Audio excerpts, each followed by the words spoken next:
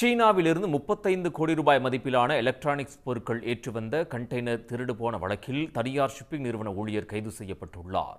சென்னை மயிலாப்பூரை தலைமையிடமாக கொண்டு செயல்படும் சிஐடிபிஎல் என்ற நிறுவனம் சென்னை துறைமுகத்தில் சரக்குகளை கையாளும் பணியை செய்து வருகின்றது.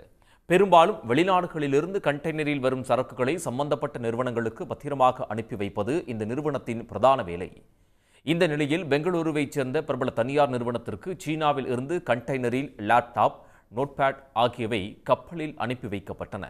இது கடந்த மாதம் ஏழாம் தேதி சென்னை துறைமுகம் வந்தடைந்தது. பெங்களூரைச் சேர்ந்த நிறுவனம் கண்டெய்னரை ஏற்றி வரச் சென்றபோது கண்டெய்னர் திருடு போனது தெரிய வந்தது இது தொடர்பாக வழக்கு பதிவு செய்த துறைமுகம் போலீசார் ஏழு பேரை கைது செய்து சிறையில் அடைத்தனர். அவர்களில் முத்துராஜ் என்பவரை காவலில் எடுத்து விசாரித்த போது திருவள்ளூரில் கண்டெய்னர் இருப்பது தெரிய வந்தது அதனை மீட்ட போலீசார் தலைமறைவாக இருந்த தனியார் ஷிப்பிங் நிறுவன ஊழியர் இளவரசனை கைது செய்துள்ளனர். உடனுக்குடன் செய்திகளை தெரிந்து கொள்ள சன் நியூஸ் பெல் ஐகானை கிளிக் பண்ணுங்க.